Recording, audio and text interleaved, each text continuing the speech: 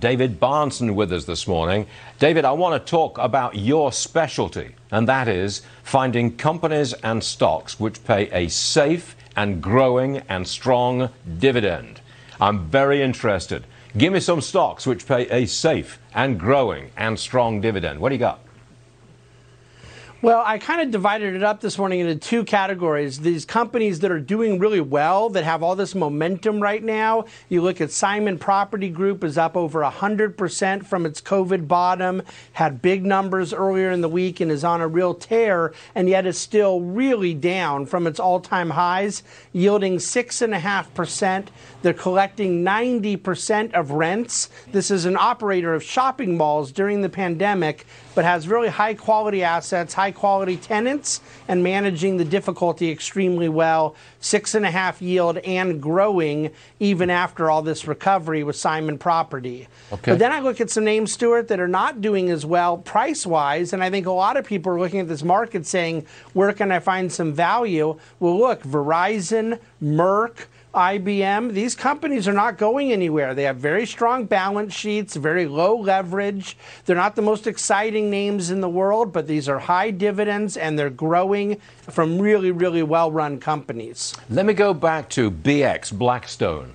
Uh, you yeah. told me about Blackstone at least a year ago. I bought it when it was around 32 and it was paying about 6%.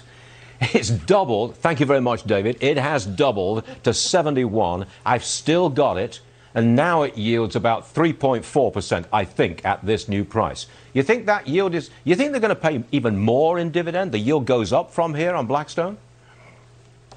I, I, absolutely believe that. And the best news I've heard all day is that Stuart Varney still owns the Blackstone I told him to buy. That is fantastic. But listen, Stuart, uh, Blackstone pays its dividend from free cash flow. Its free cash flow comes from it being a management company of assets, private equity, real estate. They continue to raise funds hand over fist. They have a great future ahead. Stock prices come up quite a bit, but that dividend is very well protected.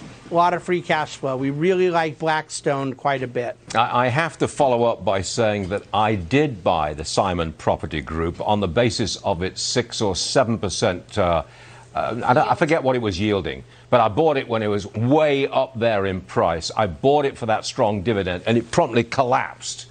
Uh, I did sell it, however, so I'm out of that. You want me to get back in, David, real fast?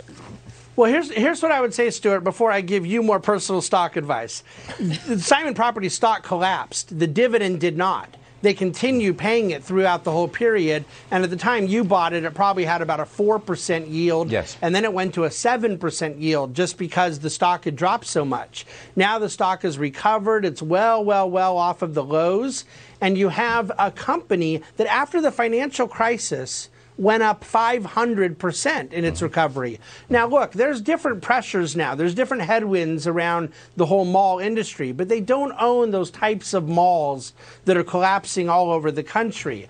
Primarily, it's very high quality assets. They've done a lot to even sell the assets to Amazon for fulfillment centers. They just have great real estate, great locations, and yes, their cash flows are perfectly protected. I'm really impressed with what they're doing through this pandemic. Okay, I may get back in. If I do, I'll tell you. David Bahnsen, thanks very much for being here. I love that Blackstone. Thank you, sir.